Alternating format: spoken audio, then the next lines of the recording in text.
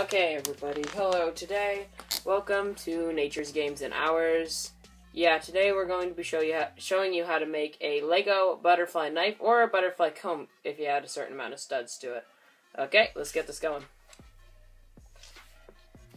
Okay, first you take these pieces. You can see what pieces they are. You can cut the holes if you want.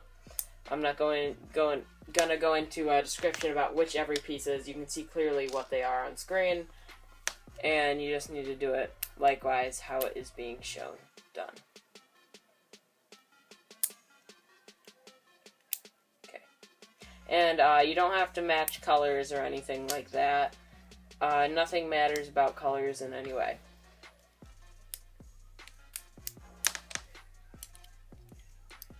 And this does uh, flip like a real butterfly knife and everything. Although, you know, doesn't deal any damage. Okay.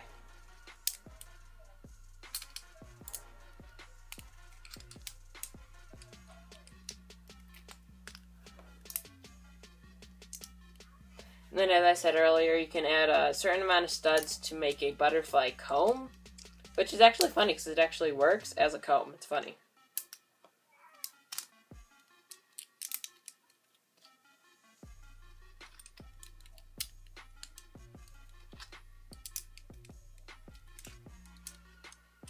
And once you add the last pieces on here,